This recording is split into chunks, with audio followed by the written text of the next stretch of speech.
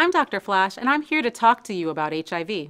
I have the privilege of taking care of people living with HIV. Um, some are people with new diagnoses that walk in, and they walk in and they're scared.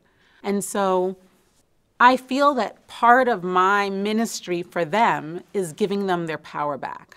Some people blame themselves if only I had done this or not done this. That, that doesn't take your power. You still have the opportunity to reshape that narrative.